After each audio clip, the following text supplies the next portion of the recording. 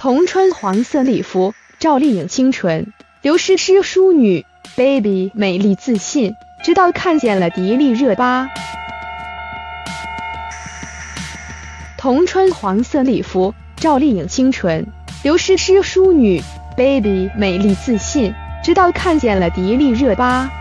皮肤白皙的人穿黄色的衣服可以衬托得更美。娱乐圈的名媛都有做过这方面的尝试。但是结果却是大相径庭。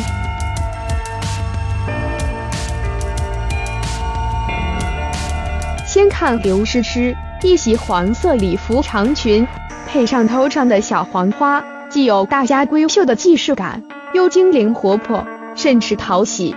加上令人产生想捏一捏的脸蛋，各位不要舔屏啊！周冬雨特别钟爱黄色。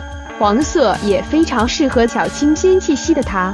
原来这么娇小女生也可以将礼服穿得如此奢华大牌。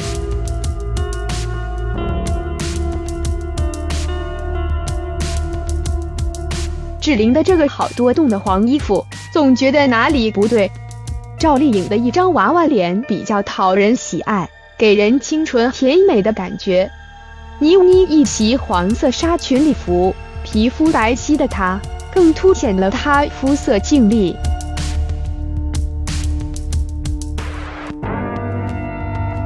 Angelababy 真是越来越美了，越来越自信了。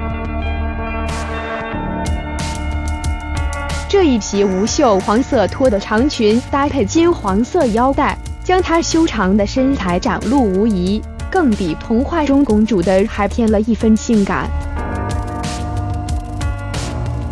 最后说一下我的胖迪，穿什么都好看。一件普通的黄毛衣穿出了礼服感，小团裙配的也很性感。她那略带几分羞涩的甜美的笑容，犹如拂面的微风，让人心旷神怡。